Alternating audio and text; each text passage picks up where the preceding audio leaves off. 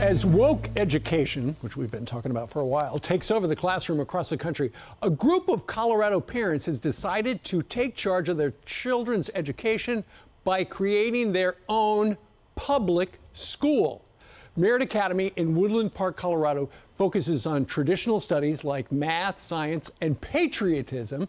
It also vows to keep politics out of the classroom. Joining us right now is founding board members John Dill and Jason Ledlie. Guys, good morning to you.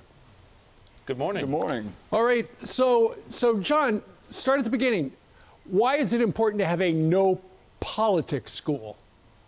Well, it's important to listen to the community needs, which we started do we we did last summer. Uh, there've been long-term discussions on the community wanting more choices in education. Right. And then, so you listen to the community. You we surveyed the parents to see what sort of things they wanted to have in their school. And then, if you keep the focus on what's best for the kids, your decisions become fairly clear on what to do. Sure. And Jason, so you've got five core values valor, goodness, perseverance, responsibility, and friendship. Now, that's a public school where I've never seen that kind of uh, thing etched up on the wall. Okay, if you come here, this is what we're going to talk about.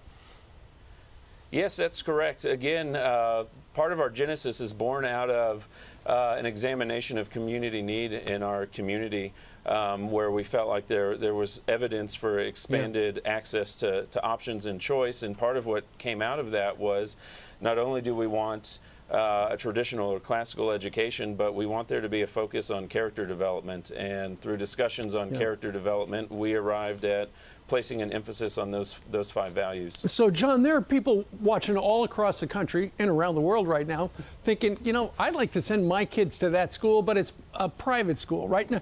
It's a public school. So, explain how you're actually getting public money to run your school.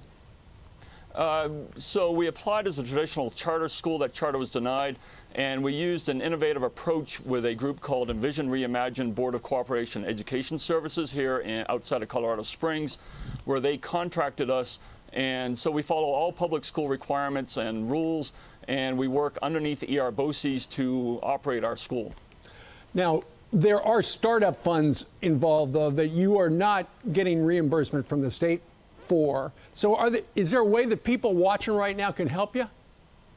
Sure. Uh, our website is www.merit.academy.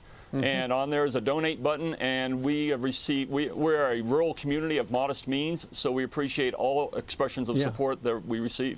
Jason, I would imagine the reaction from folks in your town is unbelievably positive.